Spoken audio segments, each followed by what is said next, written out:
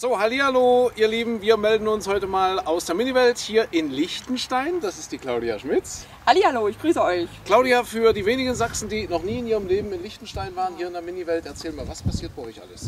Also bei uns kann man im Prinzip an einem Tag einmal um die Welt reisen und sich wirklich fühlen wie Gulliver auf Weltreise. Äh, man sieht, dass die Monumente relativ groß sind, wie zum Beispiel hinter uns die Freiheitsstatue.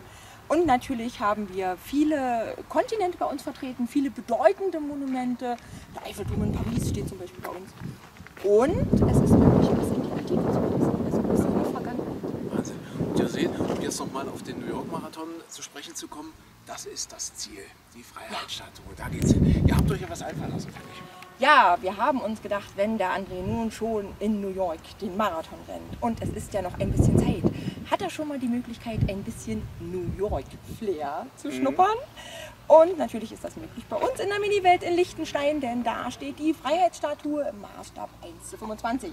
Okay. Und damit du schon weißt, wie weit das manchmal ist, haben wir uns gedacht, wir lassen den André mal rennen von Paris nach New York. Das wäre doch mal was. Das sind ja locker so an die 6.000, 7.000 Kilometer. Ja, Wäre eine gute wär ein gutes. Training. Ja, ne? gutes Training. Okay, wie das läuft, wie das läuft, das schauen wir uns jetzt gleich mal an.